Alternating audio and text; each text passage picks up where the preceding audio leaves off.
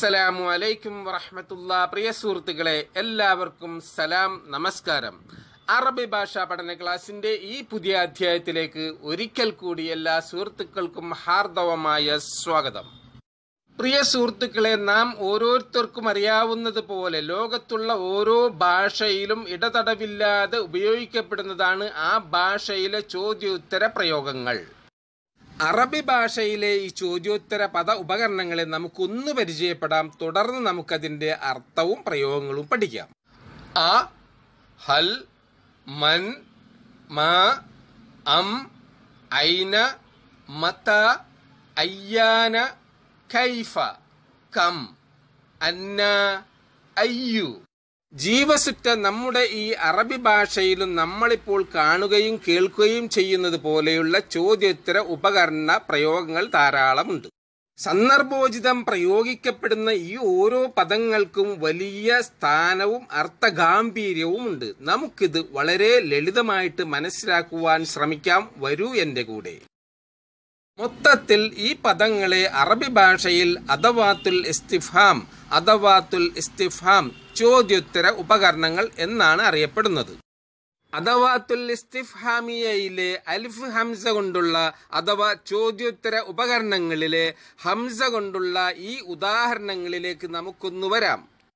എല്ലാവരും സാധാരണയായിട്ട് ചോദിക്കുന്ന ഒരു ചോദ്യമാണ് നീ ഇന്ന് സ്കൂളിൽ പോയോ പള്ളിയിൽ പോയോ അങ്ങാടിയിൽ പോയോ വീട്ടിൽ പോയോ ടൗണിൽ പോയോ തുടങ്ങിയത്? ഇതെങ്ങനെയാണ് ചോദിക്കുന്നത്? അ ദഹബ്ത ഇലൽ മദ്രസത്തി. അ ദഹബ്ത ഇലൽ മദ്രസത്തി. നീ സ്കൂളിൽ പോയോ?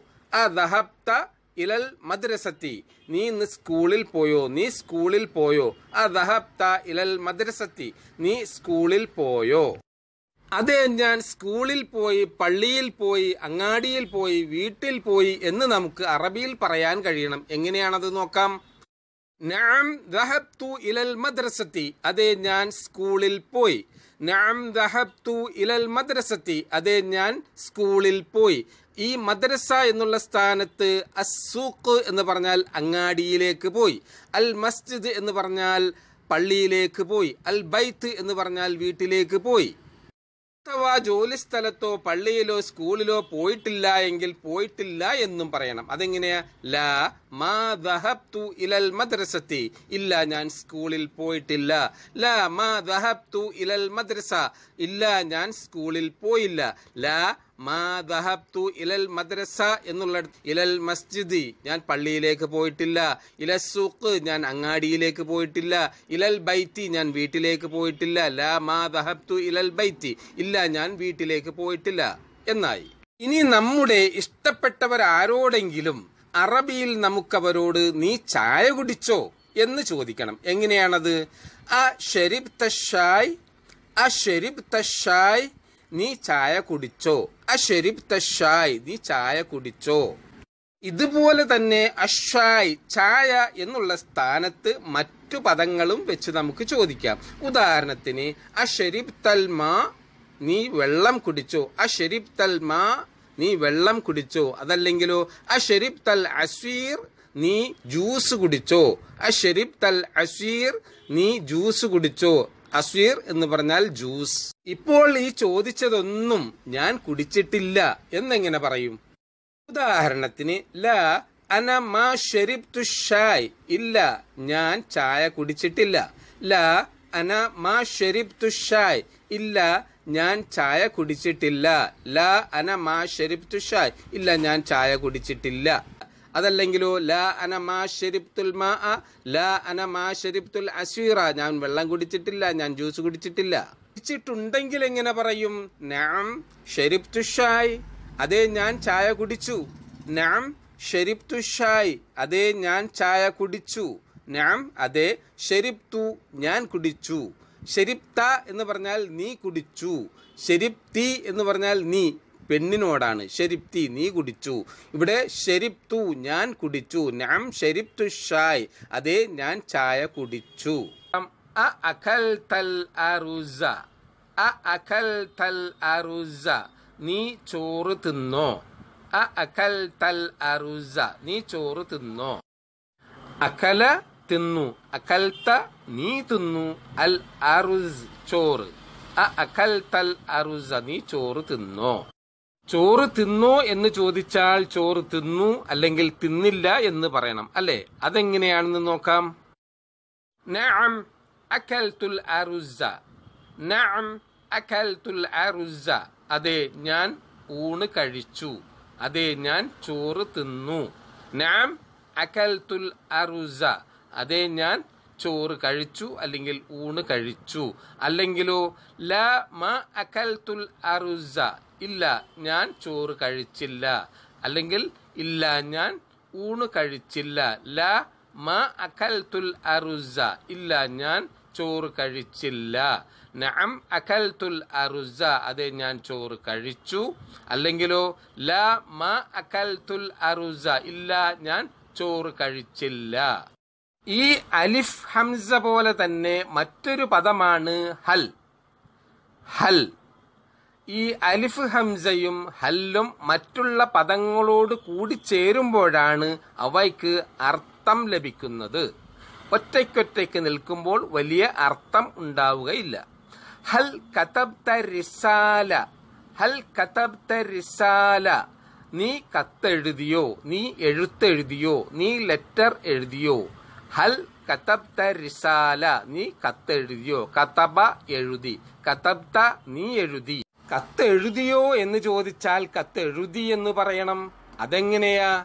നാം കതബ്തു റിസാലത്തല്യവും നാം കതബ്തു യൗം. അതെ ഞാൻ ഇന്ന് കത്തെഴുതി ഞാൻ ഇന്ന് എഴുത്തെഴുതി.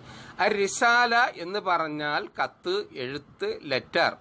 നാം കതബ്തു യൗം. ഞാൻ ഇന്ന് കത്തെഴുതി. അതെ ഞാൻ ഇന്ന് കത്തെഴുതി. നാം അതെ കതബ്തു റിസാലത്ത ഞാൻ കത്തെഴുതി. അല്യവും ഇന്ന്. അല്യവും ഇന്ന്. നാം കതബ്തു റിസാലത്തല്യവും അതെ ഞാൻ ഇന്ന് കത്തെഴുതി. കത്തെഴുതിയിട്ടില്ല എങ്കിൽ കത്തെഴുതിയില്ല എന്ന് പറയണം. അതെങ്ങനെയാണ്? ലാ മാ കതബ്തു റിസാലത്തല്യവും ലാ മാ കതബ്തു റിസാലത്തല്യവും ഇല്ല ഞാൻ ഇന്ന് കത്തെഴുതിയില്ല ഞാൻ ഇന്ന് ലെറ്റർ എഴുതിയില്ല. ലാ മാ കതബ്തു റിസാലത്തല്യവും ഇല്ല ഞാൻ ഇന്ന് കത്തെഴുതിയില്ല. ലാ മാ കതബ്തു റിസാലത്തല്യവും ഇല്ല ഞാൻ ഇന്ന് കത്തെഴുതിയില്ല. വളരെ എളുപ്പത്തിൽ പഠിക്കാൻ പറ്റുന്ന ഹൽ കൊണ്ടുള്ള ഈ ചോദ്യം ഒന്നുകൂടി നമുക്ക് ആവർത്തിക്കാം. ഹൽ സല്ലം സലാമ. നീ സലാം ചൊല്ലിയോ? ഹൽ സല്ലം സലാമ നീ സലാം ചൊല്ലിയോ. ഹൽ സല്ലം നീ സലാം ചൊല്ലിയോ. സല്ലംത എന്ന് പറഞ്ഞാൽ തന്നെ നീ സലാം ചൊല്ലിയോ എന്നായി. അസ്സലാമ ഒന്നുകൂടി ഉറപ്പിച്ച് പറയുകയാണത്. ഹൽ സല്ലംത സലാമ നീ സലാം ചൊല്ലിയോ. ഹൽ സല്ലംത സലാമ നീ സലാം ചൊല്ലിയോ. ആ ചോദ്യത്തിന് ഉത്തരം നൽകിയത് ഇങ്ങനെയാണ്. അതല്ലെങ്കിൽ നമുക്ക് ഇങ്ങനെ ഉത്തരം നൽകാം. ഞാൻ എന്റെ ഉമ്മയോട് സലാം പറഞ്ഞു.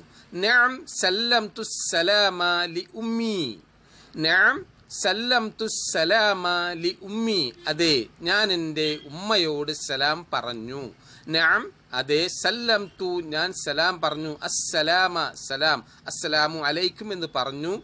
ലി ഉമ്മി എന്റെ ഉമ്മയോട്. നാം സല്ലം തു സലാമ ലി ഉമ്മി. അതെ ഞാൻ എന്റെ ഉമ്മയോട് സലാം പറഞ്ഞു. അഥവാ ഇനി സലാം പറഞ്ഞില്ല എങ്കിൽ എങ്ങനെ പറയണം? ലാ മാ സല്ലം തുലി അഹദിൻ. ലാ മാ സല്ലം തുലി അഹദിൻ. ഇല്ല ഞാൻ ആരോടും സലാം പറഞ്ഞില്ല. ലാ മാ സല്ലം തുലി അഹദിൻ. ഇനി നമ്മുടെ ആരെങ്കിലും അല്ലെങ്കിൽ എന്തെങ്കിലും എവിടെയെങ്കിലും നഷ്ടപ്പെട്ടു കഴിഞ്ഞാൽ എങ്ങനെ ചോദിക്കും? ഹൽ വജത്ത അഹാക്ക നീ നിന്റെ സഹോദരനെ കണ്ടുവോ? ഹൽ വജത്ത അഹാക്ക നീ നിന്റെ സഹോദരനെ കണ്ടുവോ? നാം വജത്തു അഖി അതെ ഞാൻ എന്റെ സഹോദരനെ കണ്ടു. അല്ലെങ്കിലോ ലാ മാ വജത്തു അഖി. ഇല്ല ഞാൻ എന്റെ സഹോദരനെ കണ്ടില്ല. നഅം വജത്തു അഹി അതെ ഞാൻ എന്റെ സഹോദരനെ കണ്ടു. അതല്ലെങ്കിൽ ലാ മാ വജത്തു അഹി ഇല്ല ഞാൻ എന്റെ സഹോദരനെ കണ്ടില്ല എന്നും പറയാം. നമുക്കിനി ഇന്റർവ്യൂകളിൽ അല്ലെങ്കിൽ പരീക്ഷകളിൽ കളികളിൽ ആര് ജയിച്ചു എന്നറിയണം. അതെങ്ങനെ ചോദിക്കും? മൻ ഫാസൽ യൗം. ആരാണ് ഇന്ന് വിജയിച്ചത്? മൻ ആരാണ് ഫാസ ജയിച്ചത് അല്യവും ഇന്ന്? മൻ ഫാസല്യവും ഇന്ന് ആരാണ് വിജയിച്ചത്? മൻ ഫാസല്യവും മൻ ഫാസല്യോം ആരാണ് ഇന്ന് വിജയിച്ചത്? മൻ ഫാസല്യോം ഇന്ന് ആരാണ് വിജയിച്ചത്? അതിന് ഉത്തരം നമുക്കെല്ലാവർക്കും അറിയാം. നന്നായി അധ്വാനിച്ച് പഠിച്ച് കളിച്ചവർക്ക് വിജയിക്കാൻ പറ്റും. അല്ലാത്തവർ തോറ്റുപോകും. ഇവിടെ നമുക്ക് പറയാം. മുഹമ്മദുൻ ഫാസല്യവും മുഹമ്മദാണ് ഇന്ന് വിജയിച്ചത്. മുഹമ്മദുൻ മുഹമ്മദാണ് ഫാസൽ ഫാസല്യവും ഇന്ന് വിജയിച്ചത്. മൻ ഫാസൽ യൗം ആരാണ് ആരാണിന്ന് വിജയിച്ചത്? മുഹമ്മദുൻ ഫാസല്യവും മുഹമ്മദാണ് ഇന്ന് വിജയിച്ചത്. മുഹമ്മദുൻ ഫാസ ഫാസ വിജയിച്ചു. കഷ്ടപ്പെട്ട് അധ്വാനിച്ച് പഠിച്ചവനും കളിച്ചവനും വിജയിച്ചു എന്ന് നമ്മൾ മനസ്സിലാക്കി. അപ്പോൾ പിന്നെ തോറ്റതാരാണ്? മൻ ഫഷിലൽ യൗം. ആരാണ് തോറ്റത്? മൻ ആരാണ് ഫഷില തോറ്റത്? അല്യവും ഇന്ന് മൻ ഫഷിലല്യവും ഇന്ന് ആരാണ് തോറ്റത്? മടിയനാണ് ഇന്ന് തോറ്റത്. കസ്ലാനുൻ ഫഷിലല്യവും കസ്ലാനുൻ ആരാണ് തോൽക്കുന്നത്? കസ്ലാനുൻ മടിയൻ. കസ്ലാനുൻ ഫഷിലല്യവും മടിയനാണ് ഇന്ന് തോൽക്കുന്നത്. എല്ലാ രംഗത്തും തോൽക്കുന്നത് ആരാണ്? കസ്ലാനുൻ മടിയൻ. കസ്ലാനുൻ ഫഷിലല്യവും മടിയനാണ് ഇന്ന് തോറ്റത്. കസ്ലാനുൻ ഫഷിലല്യവും ഇന്ന് തോറ്റത് മടിയനാണ്. മാ ഫഷില അഹദുനില്യവും മാ അഹദുനുല്യവും ഇന്ന് ആരും തോറ്റിട്ടില്ല. ഇന്ന് ആരും തോറ്റിട്ടില്ല. എന്ന് പറഞ്ഞാലോ? ഇന്ന് എല്ലാവരും കഷ്ടപ്പെട്ട് അധ്വാനിച്ച് പഠിച്ച് കളിച്ചിട്ടുണ്ട്. ഇന്ന് ആരും തോറ്റിട്ടില്ല. ഈ വീഡിയോ ഇഷ്ടപ്പെട്ടവർ ലൈക്ക് കമന്റ് സപ്പോർട്ട് മറക്കാതിരിക്കുക. ഒരിക്കൽ കൂടി എല്ലാവർക്കും സലാം നമസ്കാരം നന്ദി താങ്ക്സ്.